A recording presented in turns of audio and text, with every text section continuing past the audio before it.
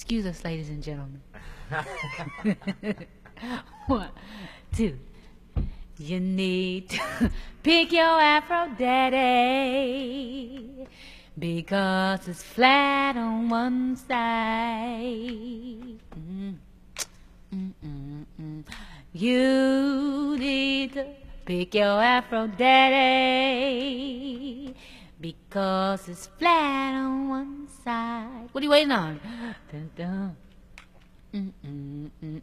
Well, if you don't pick your afro, you're gonna have one side high.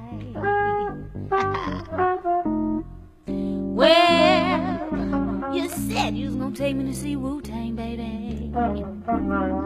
So I braided my hair.